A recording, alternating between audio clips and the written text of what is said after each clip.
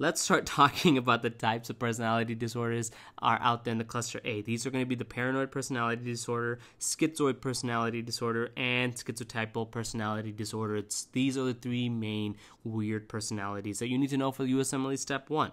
Now, these patients will have odd or eccentric actions. They have an inability to develop meaningful social relationships, and we're going to talk about that in a second in each of these uh, specific personality disorders. And they have no evidence of psychosis. That's important because just because they're weird, just because these pers- per, uh, personality disorders cause these patients to be weird, doesn't mean they're psychotic, right? They don't have hallucinations, delusions, and uh, or disorganized thinking and speech, right? That is the definition of psychosis. But they're not in psychosis. They're not psychotic patients. They're just weird. Now there is a genetic association with schizophrenia, and I simply remember this very, very easily.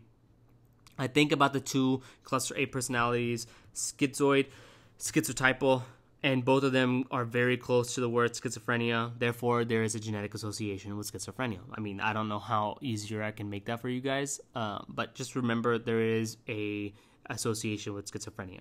So let's talk about our very first personality disorder, paranoid personality disorder.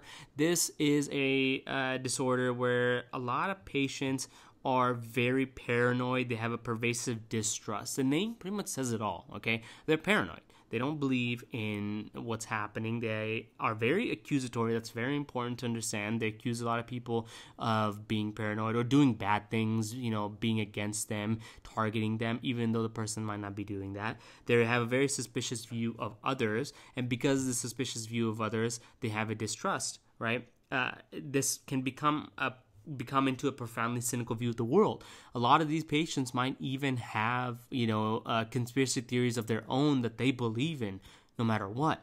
So, because of all these things, like I said in the previous slide, it's difficult for these patients to have interpersonal relationships, not because, you know, just because they don't want to make them, because, you know, they don't trust people, they have a distrust of people, they have suspicious view of others. But then when they accuse someone, ah, the person is like, you know what, man, after this, I don't want to be friends with you. So it becomes difficult for paranoid personality dis- disorder patients to have close relationships with anyone. They have difficulty, like I said, in building close relationships, and they often project. That's their main ego defense. They'll project what their insecurities or what they are thinking onto someone else. And we've talked about projection before, so go visit our video on ego defenses. But what they'll often do is they'll uh, uh, accuse someone else of being paranoid. They'll say, "No, you're paranoid. You're the one who thinks that you know aliens are reading our minds." Stuff like that, right? Uh, that is the main uh, definition of paranoid personality disorder. On the USMLE Step 1, on your practice questions, you'll be able to spot this from a mile away. They make it very simple, they make it very easy, and you kind of can't mix this up with anything else. If they're accusing someone, if they don't believe anyone, if they have a cynical view, if they're suspicious, then they're probably paranoid. So that's paranoid personality disorder. Next, we got schizoid personality disorder. And uh, this GIF is pretty much the best best GIF you could have for this disorder, in my opinion, and I'm going to talk about that in a second. In this case, patients with schizoid personality disorder are voluntarily isolated from the world. They choose to be alone, they choose to be withdrawn. That is the main hallmark of this, okay? They're not sad, they're not depressed about it, they don't want to be out in the world.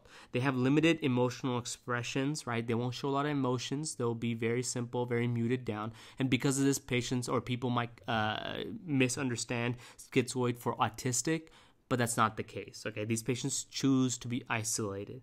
They're content with social isolation. They're okay with it. It's voluntary. So let's just you know put a uh, a connection right here. And on top of that, they don't enjoy close relationships. They don't want them. They don't need them. They have uh, they they're okay being alone. I said earlier that these cluster A personality disorders are difficult uh, cause it cause patients to have difficulty making relationships. Well, in schizoid, those patients choose not to have relationships. They want to be left the fuck alone. That's that's them. Uh, they have lack of close friends, and they have little to no interest in sexual experiences or any hobbies and interests. Right? That's very important. This key part, the fact that they have no hobbies or interests, pretty much differentiates uh, uh, schizoid from uh, autism. A lot of patients who are autistic usually have something they're very, very interested in, right? They may not want to let go of something. It may not be a hobby, but they could be a savant, for example, right? Uh, schizoid patients have no interest, they have no hobbies, and along with that, they have a very flat affect that goes with the limited uh, emotional expression. So, when on the USMLE Step 1 or on your question banks, you may get a question about a patient who lives alone, often doesn't come outside, doesn't talk to anyone, has no close friends, and someone from the church may go and give them food, some company, just the essentials, and they don't really talk to them. They take it and they say thank you, and that's it, right? You may consider that weird and you may consider that antisocial in the very loose term. I'm not talking about antisocial personality disorder. We're going to talk about that later. I'm saying they're just antisocial. They don't want to be talking to people. That is a clear giveaway for uh, schizoid personality disorder. Okay, that is schizoid. Keep that in mind. So that's that's that. Uh, again, association with schizophrenia. Uh, there is a genetic association. Sorry. So with that being said, we're going to talk about our final personality disorder, which is schizotypal personality disorder. In this case, these people are just weird, man. Like, this is the key definition of, you know, uh, cluster A, the weird personality. Like Professor Trelawney. Freaking weird. So these people are weird. They have a fear of isolation. This is completely different than schizotypal. Sorry, schizoid. Schizoty- schizoid and schizotypal are, in my opinion, are completely inverse. Their fear, they hate being alone. They have odd beliefs and ideas. They may have magical thoughts. They may be superstitious. Uh, they believe in telepathy.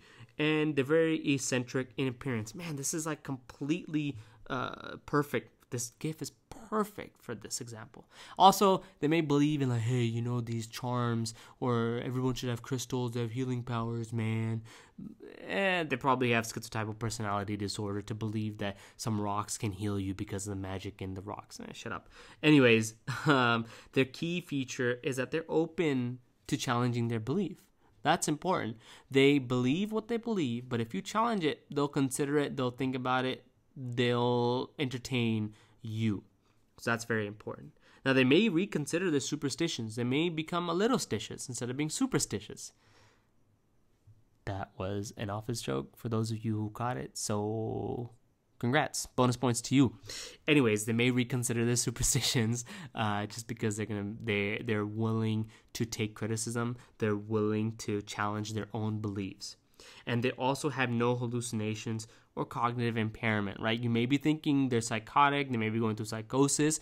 No, they're not. They're completely sane, they're completely normal. They're just weird. They just have schizotypal personality disorder.